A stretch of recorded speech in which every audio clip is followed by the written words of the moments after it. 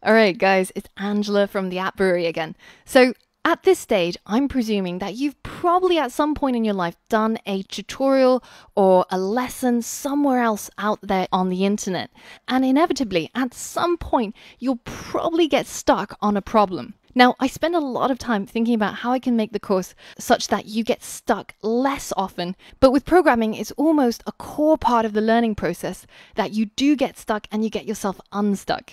So I tend to find that when I get stuck on something, I try to see it as a challenge because usually when I solve it and when I figure it out, there is a huge sense of satisfaction and there's usually some associated growth. Now, having taught over 100,000 students online and offline, I've seen people struggle in lots of different ways. And I just wanted to summarize the steps that you can go through when you get stuck on any sort of programming problem and the framework that you can use to get yourself unstuck in the quickest way possible. Now, the first step is to evaluate what is the expectation versus what is the reality? What did you expect your code to do? Or what did you expect to happen? And what actually happened? So every time you run your code, think to yourself, what do I expect to happen? And then see what really happened and try to figure out what is causing the difference. Now, while you're writing code, it's inevitable that you will end up creating errors. And this can happen when you've made a mistake or spelled something wrong, or even when you're just trying to install a piece of software. And those errors are usually accompanied by bits of text or the error message. And you can see this in your browser or in your code editor. And most of the time, it might seem like these error messages are written by aliens because they don't seem to make any sense.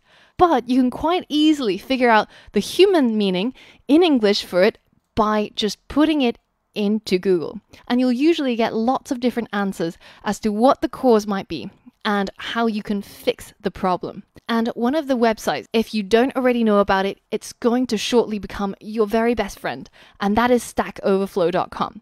So I recommend searching for any errors that you come across into Google and then heading towards the Stack Overflow websites that come up as a result. And this is exactly what real life developers do every single day. And in fact, I've worked in teams where we will all just go to the pub and have a drink and end the day if Stack Overflow is no longer working. So it's all a part of the developer workflow. Now, if that still didn't help, or you're confused by the results that you're getting back, then it's a good idea to re-watch some of the video up to the point when the code started breaking or it started doing something unexpected. Because in the videos, there are always step by step instructions, and it's really important that you check to make sure that you haven't made a typo here or there, or you haven't capitalized something that shouldn't be capitalized, and just re-watch the video right before when your code broke in order to try and figure out what might have gone wrong. Now, the next step is you can check your code against my code. At the end of every tutorial module, there is a completed project that you can download. And you can scroll through the completed code, compare it to your own, and see if there were any typos, any errors, any mistakes. And if it helps, you can even copy and paste sections from the completed code into your own module just to see if that line or that paragraph helped to fix the issue. And if that still doesn't solve it, then the next step is head towards the Q&A. So underneath every lesson, there is a Q&A section. And it's a good idea to check in the lesson when your app has broken to see whether if anybody else had similar issues to you.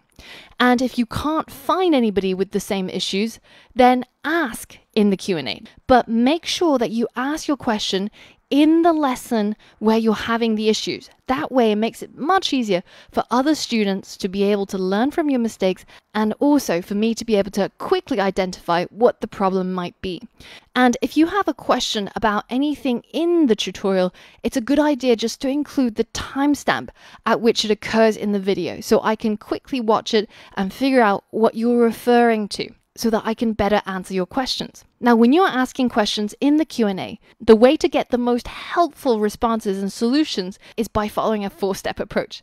So, firstly, tell us, so myself and other students, what did you expect to happen? Then what actually happened? And then include a screenshot of all of your code that corresponds to this situation, and then include a screenshot of the debug console that includes any errors if there were any errors or if your app has crashed. Now, to take a screenshot of part of the screen in Windows, all you have to do is hold down the Windows key, Shift, and S, and then you'll get these little crosshairs show up, and you'll be able to take a section of your screen as a screenshot.